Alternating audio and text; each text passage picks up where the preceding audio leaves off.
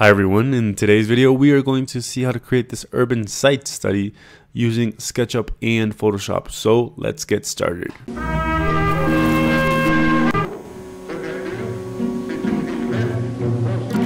Before we start, I just want to remind you guys that you can see and watch the full length one hour uh, video over here in our Patreon page and you can also get access to our PSD file in our Patreon page. So if you want to watch it all with tips and tricks and a full length commentary, uh, you can click over there and, enjoy.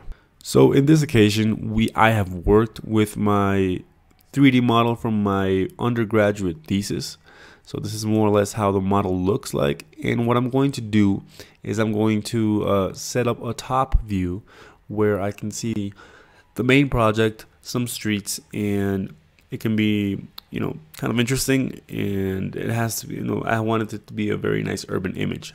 Now I'm going to open my V-Ray editor because we want to we want to uh, have a base as a base our clay rendering, right? So what we're going to do is we're going to open up our, our V-Ray editor and we're going to configure it for it to be uh, only one color and with very soft shadows. So what we have to do is you have to go to your sun. You have to set up a very big size for your sun. And also you have to activate the material override uh, for your for your 3D model. Then obviously don't also forget to activate your render elements with your render ID and or material ID, render ID, and um, export it in a good resolution. So you can also after it you know add some textures and it will look very good. So after this we export it.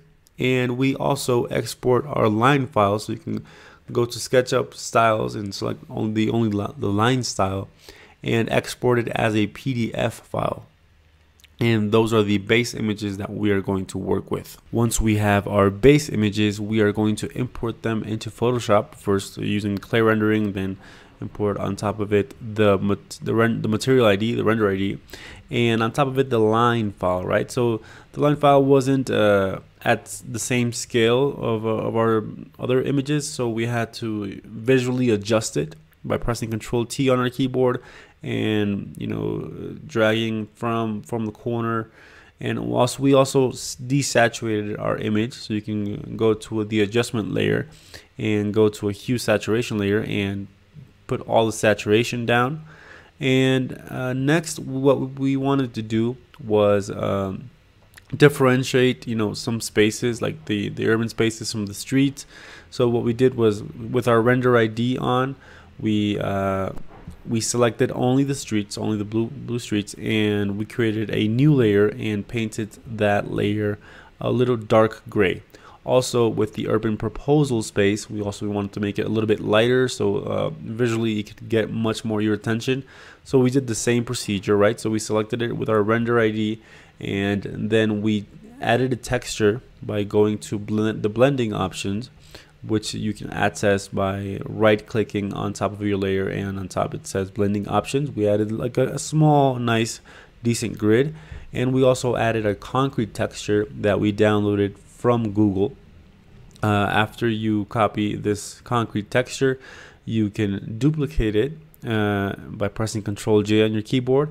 Uh, size it up, resize it, and make sure everything that uh, you want to be in the image is going to be covered. And then we merge the layers, and by uh, having the selection of our render ID, we uh, put the filter to multiply and we add our concrete texture. Now I'm going to add some texture to our buildings, the, the main buildings of our proposal. So again, this is the same procedure, right? So we go to our render ID, uh, render ID uh, layer, then we select everything that we want to be selected. Then we add a texture. Like right now I'm adding textures from the blending options but you can add textures that you already have of images. Like if for example if your project is a concrete project or a wood project or it has a special texture you can add it.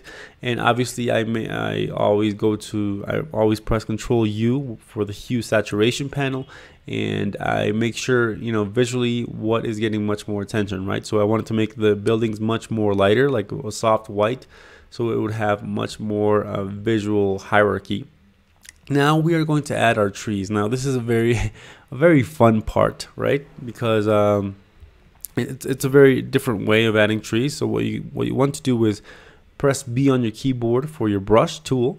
Now select a circle brush and we are going to size it down a little bit and we're going to start painting in different trees in different areas of our project. So I know uh, maybe uh, sometimes we just want to do it very fast and we copy all the we, we paste and start painting trees the same size but what my tip is is that you uh, vary it in size right? So you want to make some big trees you want to make some small trees. Some trees always don't have the same uh, distance separation because you know everything is not as perfect as we think it should be. So i recommend you guys uh, you know vary the size make it bigger make it make it smaller and as, as you guys can see, maybe you're asking yourself, why the hell did you paint it black, Stephen?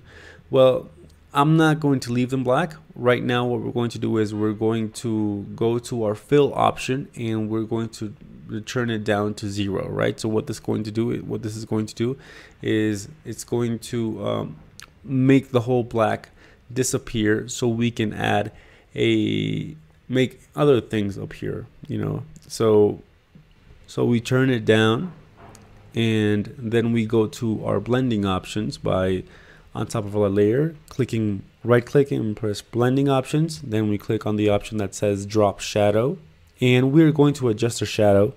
As you guys can see, our trees are going to have a nice, uh, a nice soft shadow to them. We want to match it to the soft shadow that we already have for our images. And we also want to add a light stroke. So you can go to the stroke option and turn down a lot the opacity so we have a light stroke and now we have our trees right so we want to add texture to the image like right like visual texture to the image now since the all this urban uh, context is not as perfect as we want to think it should be I'm going to make some houses darker and some houses lighter so uh, it, it has a little bit more dirty look to it so I'm just again going to select some houses and paint them, painting them dark gray. Now I'm going to create some cars. This was a very fast way of making cars. So what I did was with a square brush, I did the same thing as our trees, right? I painted a black, black, uh, black car. Then I added a drop shadow, then a stroke, and then I copied this car everywhere. Now my mistake over here is that I, I only made two sizes of cars, but you can also create you know different sizes of cars uh, remember you want to make them in different directions right so I made one that it was in the vertical direction then another one that was in the direction of the horizontal streets so that, that as you guys can see with the trees with the cars and everything it's making the image much more interesting and much more visually appealing we haven't uh, actually done the urban site uh, study analysis uh, part yet but we already have a nice base image which we can do a lot of things with. Now we are going to select our pencil tool and we're going to start drawing what I think is going to be street flows, right? So this was a technique that I that obviously is, was done by uh, the master Alex Hogrefe, which uh, what we do is we various times, you know, this can you can you can do this many many times with a pen tool. You can create the urban flows or the street flows or the street paths that a human would take and you know you want to do this in a very nice color in a very different color and obviously after you do all this uh, along uh, for a lot of times you unite all of these shapes into one layer then you press ctrl j to duplicate it and then you go to blur gaussian blur and then the the streets all these lines are, are going to have a nice glow to them so as you guys can see i have I'm trying to decide on the color, but you guys can see a nice the glow of, of the images plus the urban street flows, right? So this is the category that we're analyzing here. But again, what I'm going to do is I'm going to create very different uh, layers and categories of analysis because in your urban projects, in your student projects, you know, when, when you're analyzing a, an urban piece or when you're analyzing it with your uh, proposal, you have to obviously show different categories, right? So the main idea of this video is to show how you can create a nice clay rendering base to it and then start adding different categories, right? So this is the street flows street flows category. Now, what we want to do is obviously add a title to it that says street flows and, and, obviously if you want to have a north if you want to have a scale to it you should you should put it um, now I'm going to start to draw another layer another uh, category of analysis which is this is going to be like the plazas where I'm going to select how to access the different plazas of the project. And obviously you want this in a different color. The colors are very important here because you're going to put all of these diagrams all of these analysis side by side right? So they have to have uh, very uh, similar colors, very interesting color palette. If you were going to select very live, very saturated colors, then you know let's make sure all these colors are are more or less of the same family. Now I'm going to select. Now I'm going to create a another urban layer of analysis, which is going to be the green areas. This is not you know very notorious in my project, but but it also it's also interesting because it's a very uh, common category analysis, right? So you want to create obviously a new layer and then start painting them green and send them to overlay or to multiply. So you, the shadows the trees and everything that we have drawn before stays you know intact and we can also see it.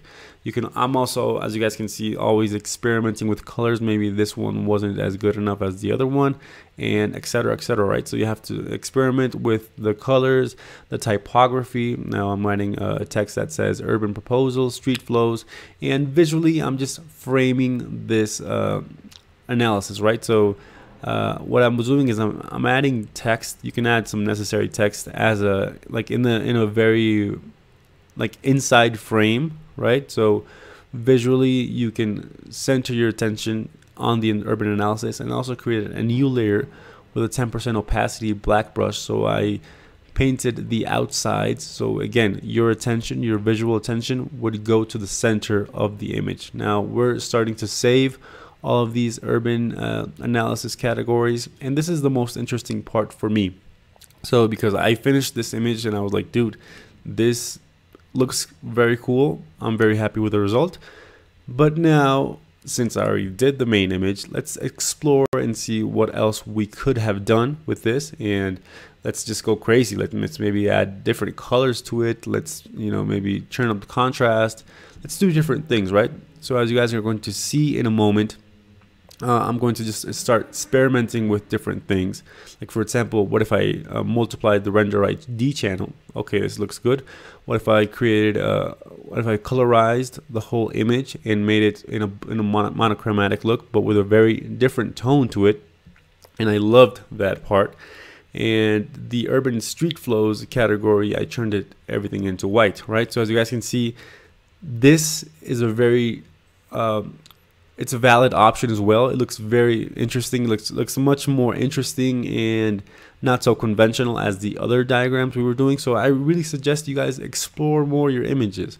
I'm also adding a little bit more of a, a dirt texture to our black and white image um, because all of these images that if we do them in a good resolution, if we add, a lot of textures, add a, a lot of uh, different important information for our for our the people that are going to view the project then it's going to be interesting right? So we want the images obviously to be informative but we want them to be visually pleasing.